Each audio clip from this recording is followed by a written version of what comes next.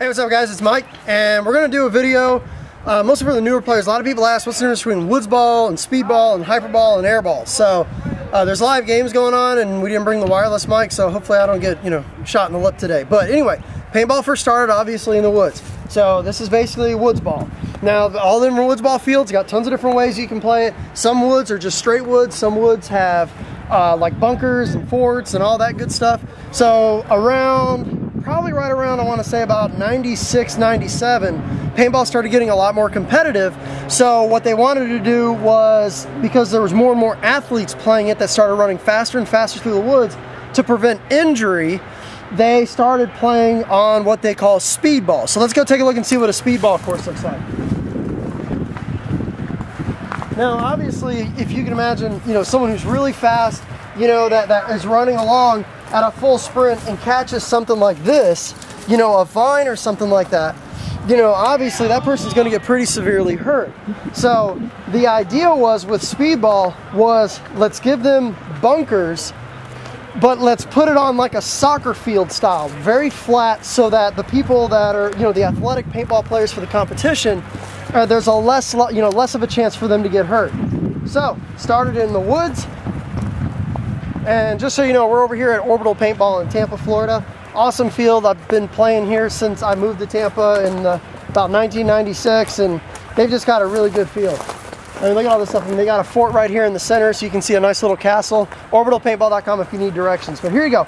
This is a little overgrown, but if you can imagine, you know, this with the spools and, you know, and the, uh, the pallets and stuff like that. If you can imagine this being all mowed, this used to be really like mowed down, but no one's really been coming back here.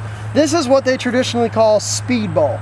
It's basically pallets and spools and wooden, you know, little wooden bunkers on a, you know, mostly flat field.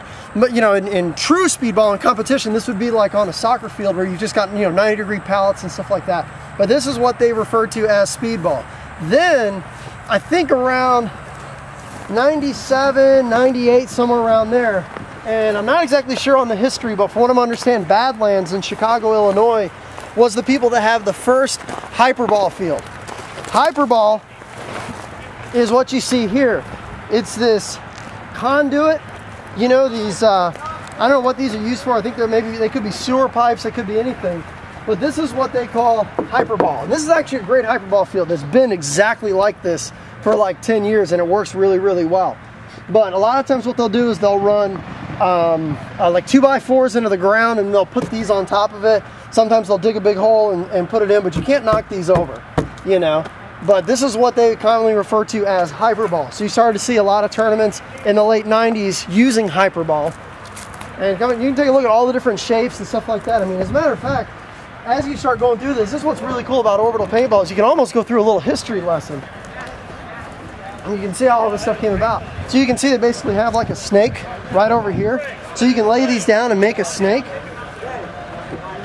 And then what happened was, was um, obviously getting these up and moving these around became a problem. People didn't want to play on the same exact field, you know, weekend and wake out with the same layout. And obviously you can't be out here pouring concrete and digging holes in order to move the field.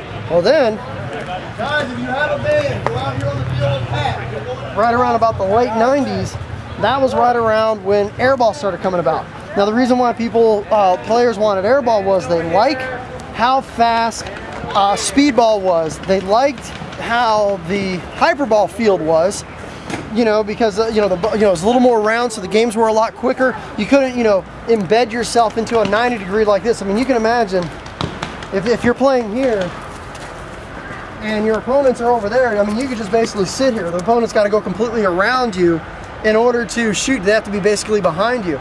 The cool thing that a lot of players liked about the hyperball was, you know, it was round, so you couldn't embed yourself in there. Well then, they liked the idea, you know, the, the fast athletic players were really liking speedball.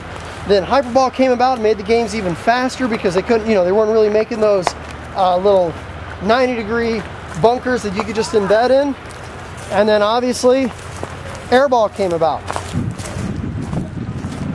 And I think sub, I think airball, Sup'Air, I think that all came about in the late late 90s, like 99 or something like that. And then now obviously you see you're on a you know on a true manicured surface, much less you know chance for injury if you run into the bunkers. They're staked down, so they'll just come out of the ground.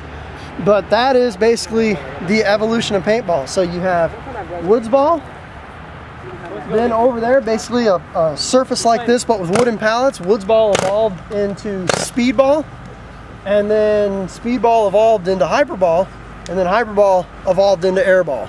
So hopefully that helps. Thanks.